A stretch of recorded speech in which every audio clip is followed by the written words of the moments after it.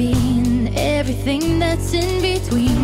You fill my soul with all the things that warm me up and make me sing.